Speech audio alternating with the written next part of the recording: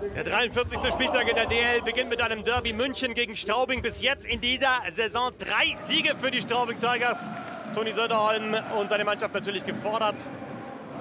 Tom Pokel, Straubing Tigers auf dem dritten Platz. München ging als Fünfter in die Partie. Straubing in Überzahl in der Anfangsphase.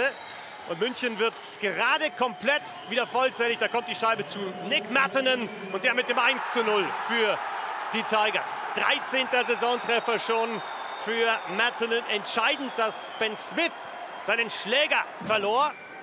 Hier sehen wir ihn auf dem Eis. Smith hier mit der 12 ohne Schläger. Der fuhr dann vom Eis und das öffnete den Raum für Merton in dem Fall also nur drei Münchner vor dem eigenen Tor ausgenutzt von den Tigers. Auf der anderen Seite Parks auf Abelshauser und auch da das Verteidigertor 1 zu 1. Konrad Abelshauser mit seinem 50. DL-Treffer, platziertes Ding und harter Schuss, 138 Kilometer pro Stunde. Es ging rauf und runter im ersten Drittel. München machte zu viele Fehler. Jeder Puck wieder weg. Konterchance für die Tigers. Marc Sängerli auf die Rückhand. Erneute Führung für Straubing. Zwölftes Saisontor für Sängerli. Straubing nah dran an den Gegenspielern. Hier Pakatomi, der Elitz die Scheibe wegschlägt und dann Sängerli mit dem guten Move auf die Rückhand. Gutes erstes Drittel der Gäste und München natürlich gefordert, aber sie spielten ein richtig gutes zweites Drittel. Straubing in Überzahl, Samuelsson mit dem Fehlpass, Hager schnell nach vorn auf Jasin Elitz, der blickt sie noch einmal um, zieht auf die Rückhand, das 2 zu 2. Samuelsson mit dem Pass da in die Mitte, kein Mitspieler in der Nähe, dann aber auch schnell geschaltet von Hager und von Elitz. Beide Mannschaften gut in den Special Teams in dieser Saison. Hier Vorteil München durch den Shorthander von Yassin Elitz. Die Antwort der Straubing Tigers, wieder so ein schnelles Umschalten. Bradley auf Sängerli und wieder führten die Gäste. Doppelpack von Marc Sängerli.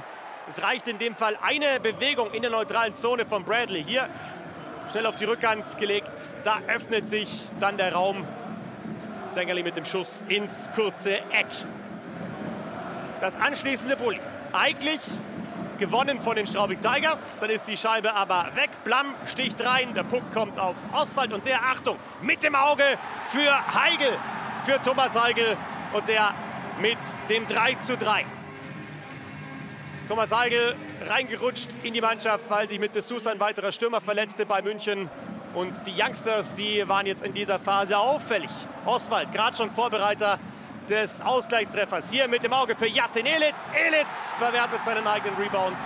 Zum ersten Mal führte München 0-1, 1-2, 2 zurück. Aber hier die Führung. Abelshauser raus auf Oswald und dann Yassin Elitz mit seinem zweiten Tor im Spiel. Überzahl für die Münchner. Wieder Elitz beteiligt mit dem Pass zurück auf Jonathan Blum. Der schießt abgefälscht von Ben Smith.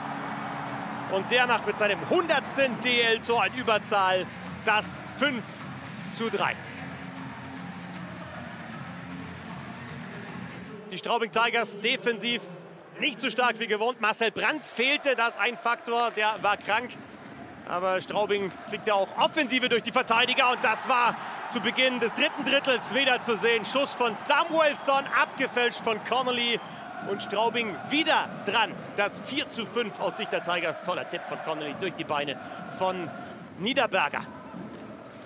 Doch auch die Straubing Tigers mit unnötigen Scheibenverlusten. Samuelson auf Braun, die Scheibe ist weg. Kommt auf Jonathan Blum. Ortega 6 zu 4. Straubing kassiert zum ersten Mal in dieser Saison mehr als fünf Gegentore. Und dieser zehnte Treffer, dann auch der letzte in diesem Spiel. Tom Pokel, den Tigers-Coach, ärgerte vor allem das zweite Drittel, denn da mussten seine Tigers vier Gegentreffer hinnehmen. München hat immer die Antwort gegeben. Uh, zweite Gegentor des Shorthander. Uh, dritte Tor direkt von Faceoff von Bulli aus. Uh, wir führen 3-2.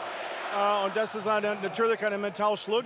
Um, aber auf jeden Fall, wir müssen besser die Scheibe managen. War ein ganz schön durchwachsenes Spiel von Anfang an. Ich denke, war ein gutes Spiel für die Zuschauer, viele Tore, aber für die Emotionen war es nicht ganz so gut.